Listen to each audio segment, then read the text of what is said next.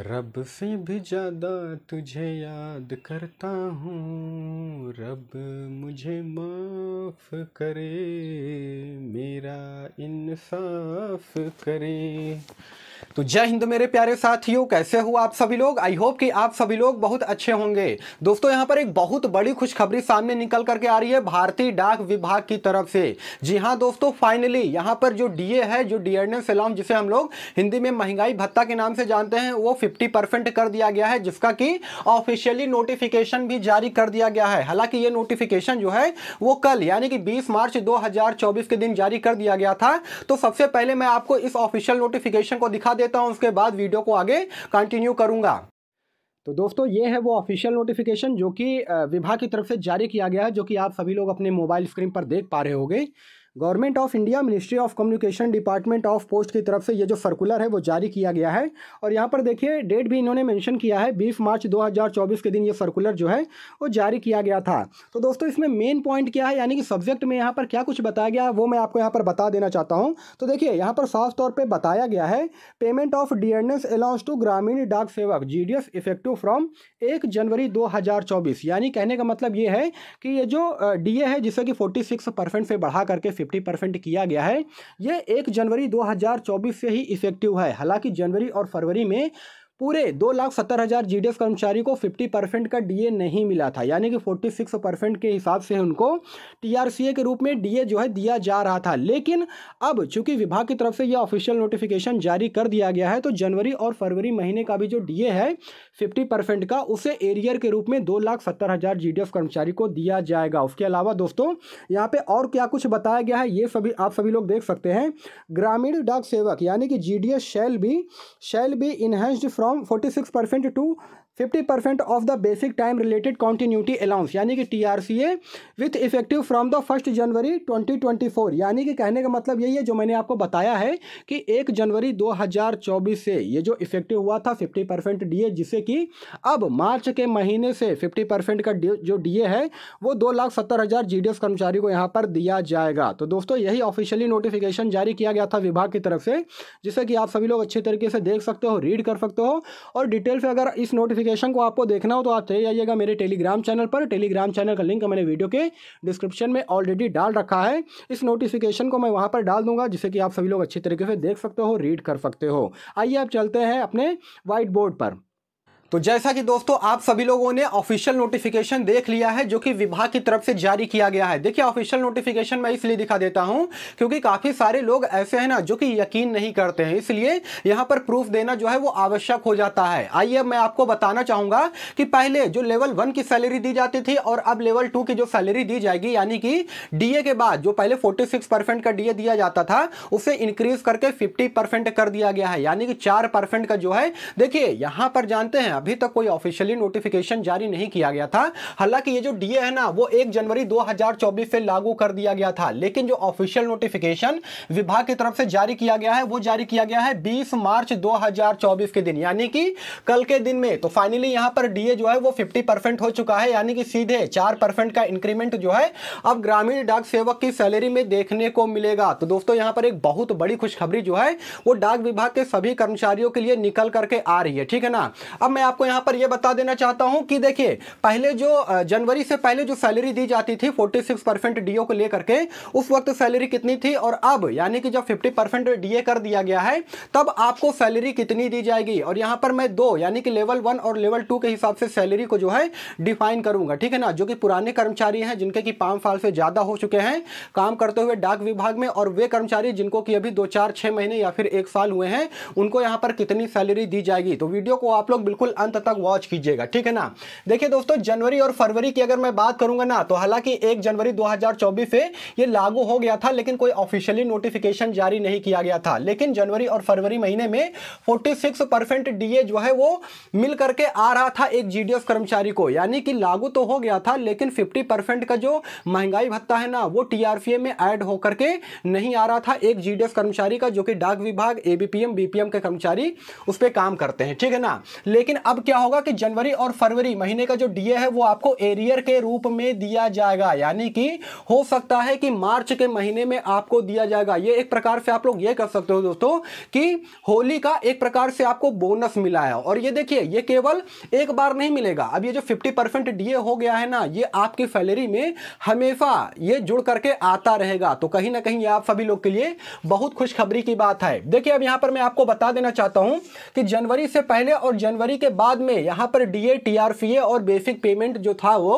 कितना होता था? एक जीडीएस कर्मचारी का, ठीक है ना? यहाँ से आप सभी लोग फ़र्क जो है वो समझ सकोगे आसानी से। तो जनवरी से पहले की अगर मैं बात करूँगा तो एक ग्रामीण डाक सेवक के कर्मचारी को 46 परसेंट का डीए यानी कि महँगाई भत्ता दिया जाता था।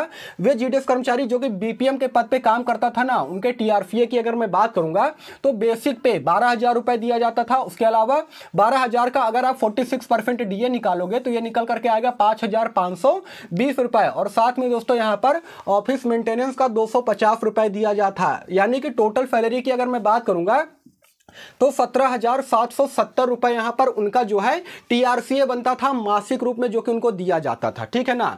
और अगर वहीं पे एबीपीएम की अगर मैं बात करूँगा, असिस्टेंट ब्रांच पोस्ट मास्टर के टीआरसीए के बारे में तो उनको बेसिक पे दस हज़ार दिया जाता था और साथ में दस हज़ार का अगर आप फोर्टी सिक्स परसेंट डीए निकालोगे तो यह निकल करके आएगा छियालीस सौ रुपए। और साथ में दोस्तों, इसमें भी इनको एक सौ पचहत्तर रुपए साइकिलिंग का जो है, साइकिल मेंटेनेंस का डीए दिया जाता था, यानी कि भत्ता दिया जाता था, ठीक है ना? तो यानी कि कुल मिलाकर के इनको जो है सोलह हज़ार छह सौ या सोलह हज़ार पाँच सौ रुपए के आसपास इनको बेसिक टीआरसीए जो कि मासिक वेतन के रूप में इनको दिया जाता था। लेकिन ये मैंने तब का बताया है जब जनवरी से पहले 46 परसेंट का डीए हो, होता था ठीक है ना?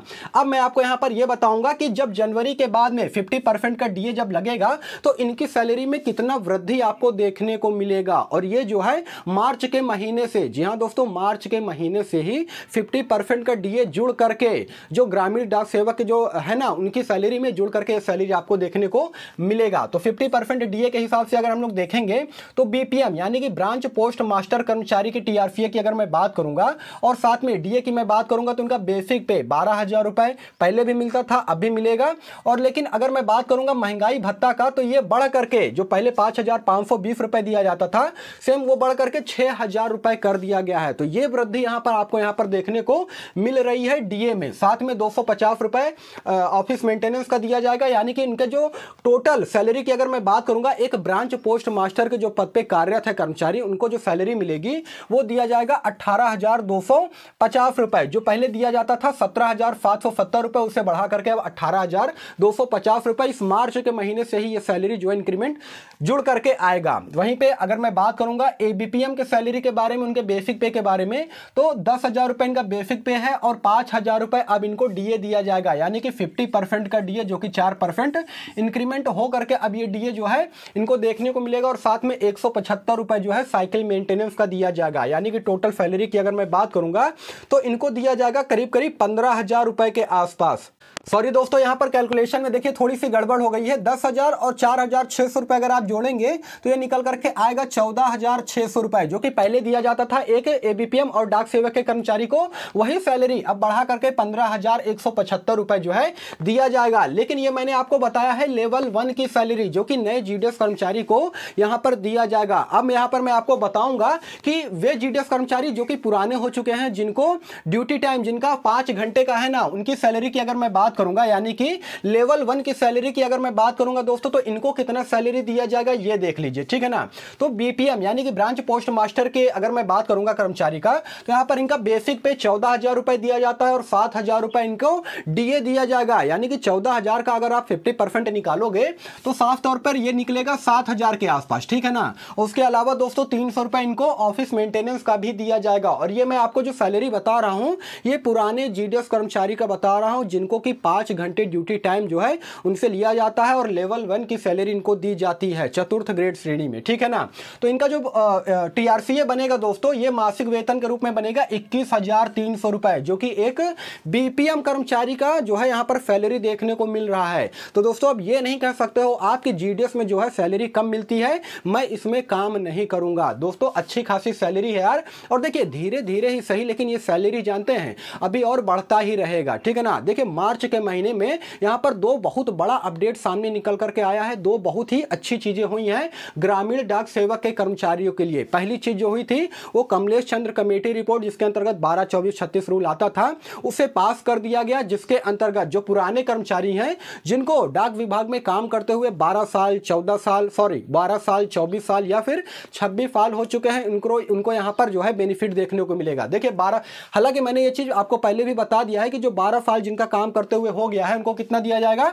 चार हज़ार तीन सौ रुपए पर इनाम, यानी कि प्रति वर्ष के रूप में इनको जो है ये दिया जाएगा। ठीक है ना? उसके अलावा जिनका कि चौबीस साल हो गया है काम करते हुए, उनको यहाँ पर दिया जाएगा पाँच हज़ार पाँच सौ बीस रुपए पर इनाम, यानी कि प्रति वर्ष वहीं पर जिनको छत्तीस साल हो गया है काम करते हुए डाक विभाग में, उनको यहाँ पर दिया जाएगा बहत्तर सौ रुपए, यानी कि सात हज़ार दो सौ रुपए प्रति वर्ष। हालाँकि देखिए, अगर मैं बारह, चौबीस, छत्तीस को अगर लेकर के बताऊँगा तो ये जो अमाउंट दिया जा रहा है, ये बहुत ज़्यादा नहीं है, बहुत कम है दोस्तों। अगर इसको आप निकालेंगे ना मंथली के रूप से तो ये तीन सौ साठ रुपए, चार सौ बीस रुपए और सात आठ सौ रुपए के आसपास लगता है, इससे ज़्यादा नहीं बनता है, ठीक है ना? लेकिन ये जो डीए बढ़ा है ना, ये एक बहुत ही बेहतरीन काम हुआ है भारतीय डाक विभाग में। और देखिए, जनवरी महीने से ही हम लोग सुन रहे थे कि डीए अब बढ़ेगा अब बढ़ेगा। हालाँकि एक जनवरी 2024 से ये लागू कर दिया गया था, लेकिन जो ऑफिशियल नोटिफिकेशन अब जारी किया गया है, जो कि 20 मार्च, यानी कि कल की तारीख में ये जारी किया गया है, जो कि मैंने आपको दिखा दिया है। देखिए ऑफिशियल नोटिफिकेशन को अगर आप लोग अच्छे तरीके से रीड करना चाहते हो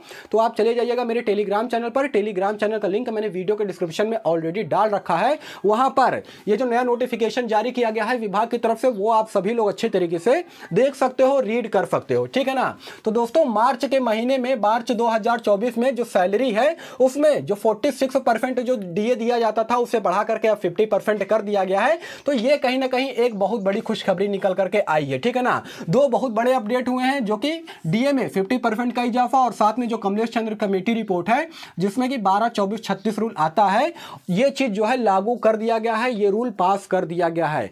अब देखिए, यहाँ पर जितने भी जीडीएस कर्मचारी हैं, उनकी तो बल्ले बल्ले हो गई है, वे तो खुश हैं, ठीक है, अच्छी बात है, लेकिन वे लोग जो कि भारतीय डाक विभाग में यहाँ पर नौकरी करना चाहते हैं, वो केवल एक ही मांग कर रहे हैं कि जीडीएस की जो नई भर्ती है, वो जल्द से जल्द आ जाए, जिससे कि लाखों जो युवा बेरोजगार है ना, वो भी भारतीय डाक विभाग में नौकरी करने का सपना देखते हैं।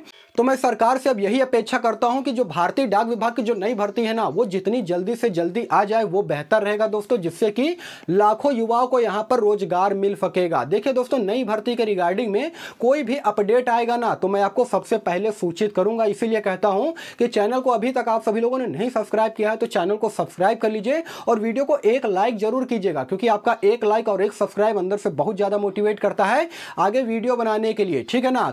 तो दोस्तों, यही सारा सब कुछ जानकारी देना था। वीडियो अगर आपको इन्फॉर्मेटिव लगा हो तो वीडियो को लाइक कीजिएगा चैनल को सब्सक्राइब कीजिएगा। बाकी फिर मिलूँगा किसी नेक्स्ट वीडियो में। तब तक के लिए धन्यवाद।